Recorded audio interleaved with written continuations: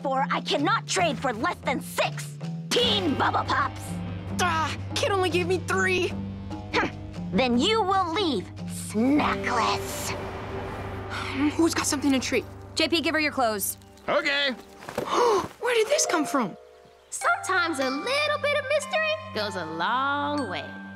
Well, it's too bad you don't want to trade because I've got this limited edition two-piece blind box. Two apiece? What figure is in there? Well, it's a blind box, so I guess you won't know till you open it. If there's a Floofy figure, then I can finally complete my collection. But what if it's a Bruno? I already have like eight Brunos already. Ah! What'll it be? Your bitter grudge with the elders? Or what's in the box? Uh, the box! The box! Here you go. Haha! I saved Anime Night! And I guess you helped. Bye! All right, Kit, now we're even, right? Hmm. I actually got one more trade for you. Are you serious? There's not gonna be any time left in the day to play. Don't worry, it's an easy one. Just bring these chips to the Junk Lord, and he'll trade you a granola bar. That's it? That's it. And then we're square. Fill her up. I can't believe we have to trade with the junk Lord. That kid doesn't let go of anything. Not even junk. Well, I hope we all went to the bathroom, because this trade's gonna take the rest of our lives. Here you go. Oh, th- th- that's it? You don't want to haggle or have a nervous breakdown? You think I'm gonna eat that granola bar? There's no nuts, no dairy, no gluten, and no raisins, Craig. I might as well be chewing on cardboard, and I got plenty of cardboard. Mmm, I think there was a burger in this. So you have no problem with us taking this? Nope, but the junk cats, on the other hand.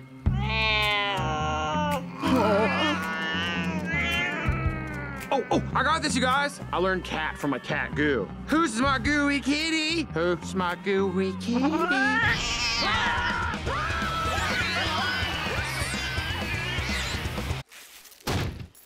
You forgot to tell us about the cats. Ugh. Yeah, sometimes with trading, you gotta distract a bunch of feral cats with a can of tuna. And I forgot to give you that tuna. Sorry about that. You're sorry? Do you have any idea what those beasts put us through? I can still hear their horrible howls. Yeah, and I think this experience is gonna leave a mark on Mortimer. Look, kid, I know you're trying to run a business here, but people matter too. Like me, I lost a whole day at the creek, running back and forth, trading stuff, and nearly getting eaten by feral junk cats. But, of course, you don't even care because you have no heart. Oh, hey! Is that my nut-free, dairy-free, gluten-free, raisin-free granola bar? Thanks, kid! Ah, you shouldn't be thanking me, Todd. It was these fellows who got it for you. You should be thanking them. Huh? Thanks so much, you guys. I'm basically allergic to everything, so this is the only snack I can eat. I hope it wasn't too much trouble. Uh, well, now that you mention it. No, it was no problem. Well, thanks, Craig. You sure can't trade anything for it? Now, Todd, you know the drill. It's on the house. Bye, thanks again! See you tomorrow. Kit, I'm sorry I said you had no heart. Ah, that's okay. But still, you did make us do a lot of trading. Boy, please, you had to make three measly trades. Do you know what I traded for those red velvet choco rolls? Gonna go buy some almond milk. Where's my car? No, no, no. I see you, I see you, I see you. Thank goodness for Duck Mart. I think we're gonna make it. Uh-oh. I don't know about that. There's a whole bunch of traffic all the way back to Grandma and Granddad's place. Craig, open the glove compartment. What? Huh? Quickly! Push the button now! What? When did this get here? Just push it!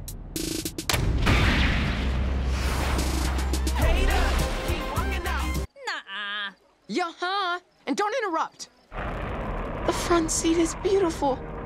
Craig, I know I'm growing up and things are changing, but I'll always be your brother, and you'll always be mine. Doesn't matter where we sit. Bernard, I... What the...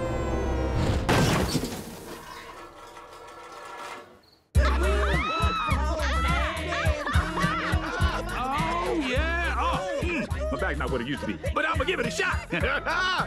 Y'all play too much. All this dancing has me working up an appetite. I guess I'll go get that pie. Wait, Mom, no! No, Mom, stop walking! What is going on with you? Sorry, Craigie. I'll remember you when you're grounded. Uh, it's a long story. But we have a pie. This better work. Wow, Miss Nicole. Looking good. Looking great.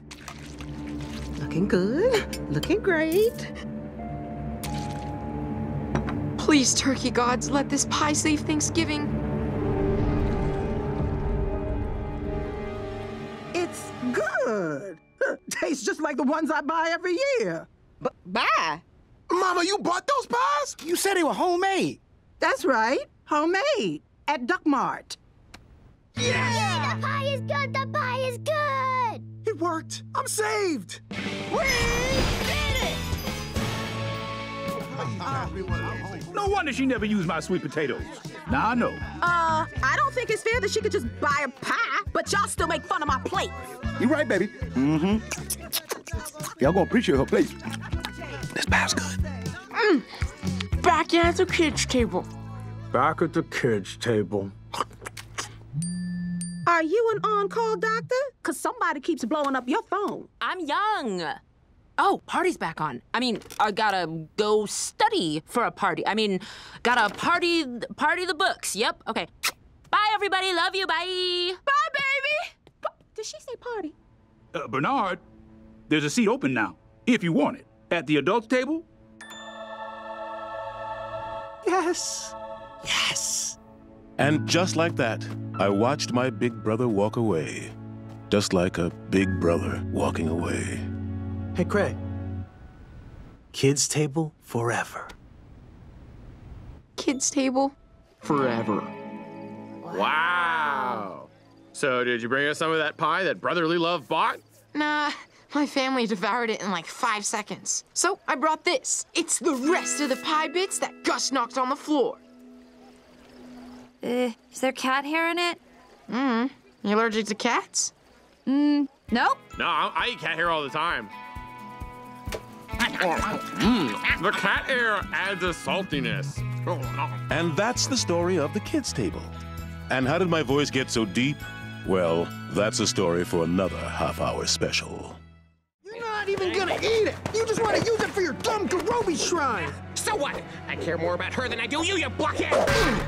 You kiss your shovel with that mouth? Uh-oh.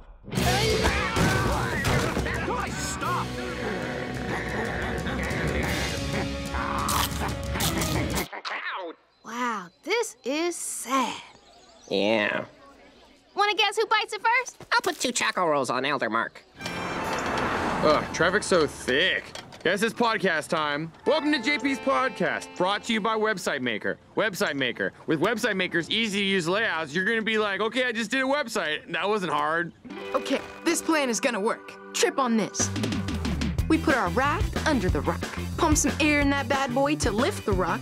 Elders are free and no parents in the creek. All right, this better work. Stop it! There's only dirt left!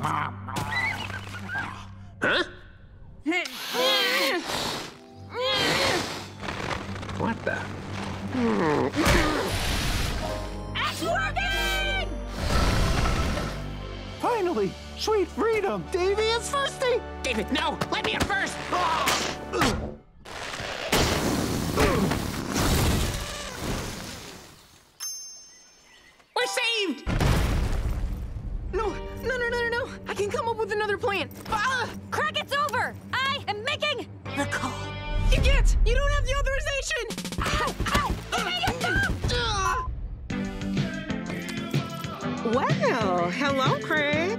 Salutations, Miss Nicole. It's Kelsey, friend of Craig, breaker of the lamp the other day.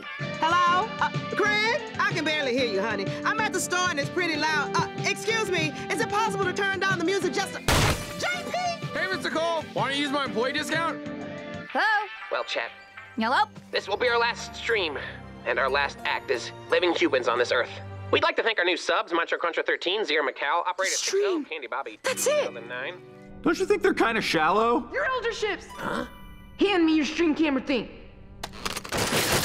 Attention, Creek kids. As funny as it is to watch the elders bicker and fight under a rock, we need to come together and help free them. We all play differently here at the creek. But what unites us is that this is where we can be ourselves. And if one of us is in trouble, we help each other out. Because the creek is better than the outside world. But if we don't help the elders out now, a parent is gonna come to the creek and then we're all in big trouble!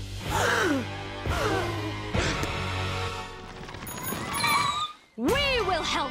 Because my parents cannot know I hang out in the sewer all day. And so will we, because if our parents ever saw the sick jumps that we can land, their brains would be spaghettified. And I'm operating a business without a license! For the elders! For the creek! You see this baby face? This right here is a child. Why would you hire a child to work in your store? I want his employee discount. Come on, JP.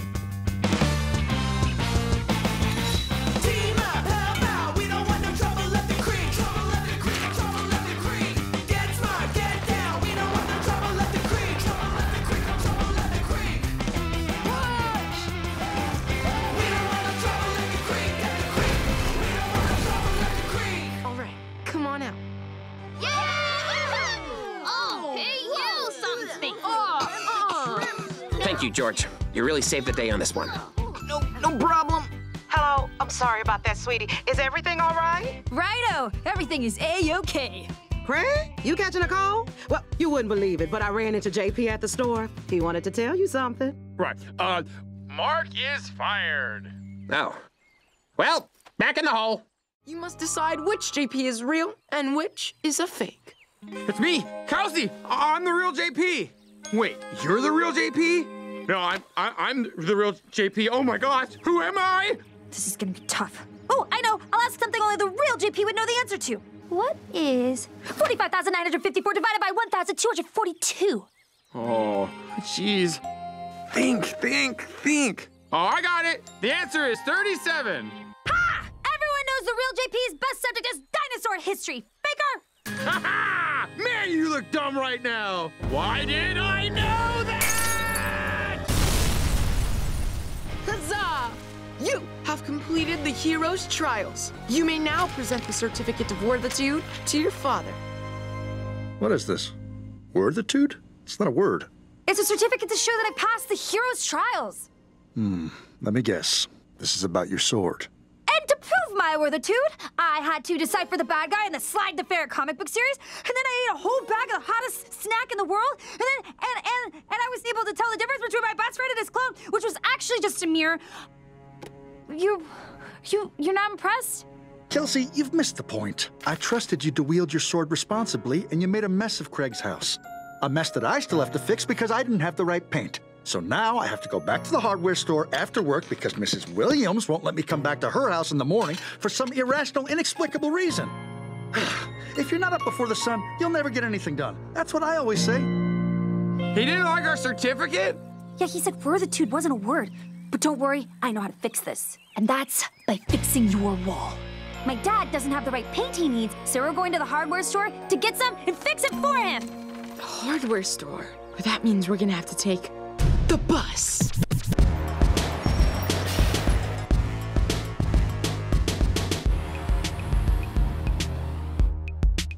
Well, we got the paint. Now how are we gonna pay for it?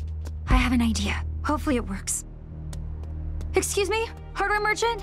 My sword, as well as my father's trust, is on the line. I require your paint, and I am willing to reward you with the finest snacks one can offer in exchange. Quarter inch construction grade PVC pipe with the smooth finish? Sword Girl, is it really you? Pipesmith, you remember me? I never forget a cut, especially one used to forge a sword capable of battling injustice. Usually, it's just to repair a broken toilet or something. Do not fret over the paint. Your respect for polyvinyl piping is payment enough. Wall potion acquired! A little tape here, a little paint there, and done. Oh, and done! Oh, you guys. Mrs. Williams, I'm here to fix the wall. I hope you don't mind I made my own key. Not breaking and entering. Huh? Father, I know I've let you down. So, in order to make amends, my noble companions and I have repaired the damage I've done. Wow, this is amazing. Yeah? I mean, the craftsmanship is actually really terrible. But I am so proud of you. You took responsibility for your actions. You've truly proven yourself worthy of my trust. Thank you, Father. Does this mean Kelsey can get her sword back? And you can also stop coming to my house so early? Yes.